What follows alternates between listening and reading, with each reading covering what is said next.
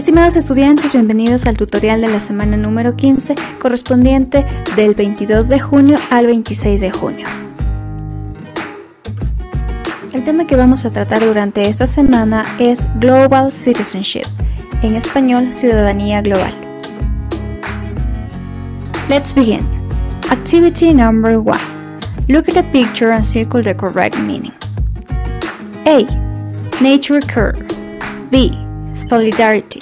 C. Responsibility. D. Honesty.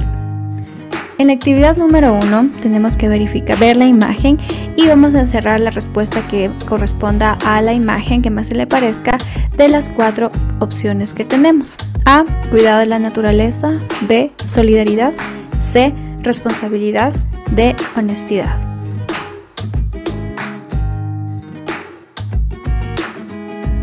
Activity number 2. Read the questions and choose the correct answer. Situation A. We are on a bus full of people. What would you do if at the next bus stop one lady carrying on a baby in her arms gets on? 1. I would give her my seat. Option 2. I would take care her baby. Option 3. I would close my eyes to look asleep. En la actividad número 2 vamos a leer la situación en este caso y vamos a seleccionar la respuesta eh, que usted haría en esta situación. La situación dice así, estamos en un bus lleno de personas. ¿Qué haría usted si en la siguiente parada una mujer se sube cargada a un bebé? Opción 1. Yo le daría mi asiento. Opción 2.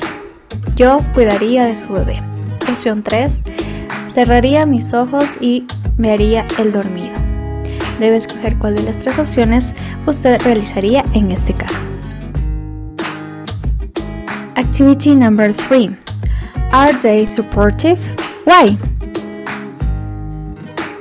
Option number 1. Yes, because they risk their lives to save others. Option number 2.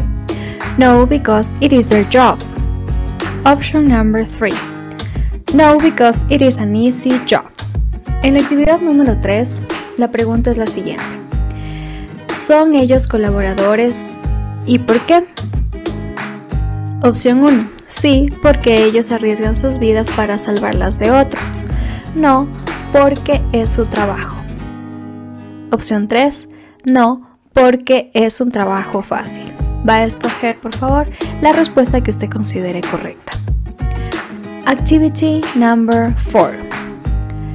List some acts of solidarity. A, B and C. En la actividad número 4, usted va a enlistar cuatro actos de solidaridad que usted ha realizado o estaría dispuesto a realizar. ¿Sí?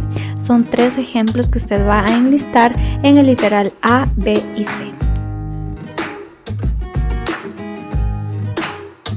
Activity number 5.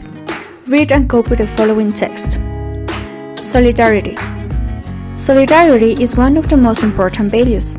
It is a collaboration that is offered to another person without receiving anything in return.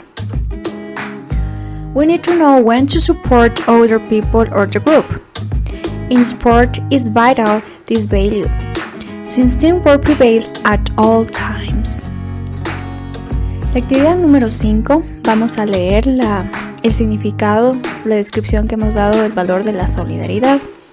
Vamos a consultar cada una de las palabras que sean desconocidas por nosotros en el diccionario y vamos a hacer una traducción total del significado de este valor. Activity number 6 Self evaluation. Question number 1 Are you a supportive person? Question number 2 Do you help your family in different situations? Question number 3 Do you help your neighbors when they need? La actividad número 6 se trata de una autoevaluación en donde se le plantean tres columnas, perdón, tres preguntas. Y usted tiene dos columnas para contestar. Va a poner un visto en la primera columna si es que la respuesta es verdadero o es sí o es afirmativa. o va a poner un visto en la segunda columna si es que la respuesta es falsa o negativa. Las preguntas dicen lo siguiente. Número 1. ¿Es usted una persona colaboradora? Número 2. ¿Ayudas a tu familia en diferentes situaciones? Número 3. ¿Ayudas a tus vecinos cuando ellos necesitan?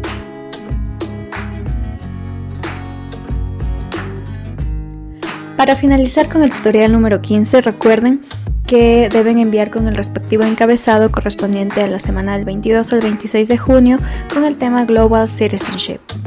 Es muy importante, jóvenes, que ustedes me envíen eh, su trabajo completo, ordenado, que consten sus datos personales, apellidos, nombres completos, su curso, su paralelo, el tema de la tarea, en este caso Global Citizenship, la semana en la que pertenece la tarea, en este caso sería semana 15.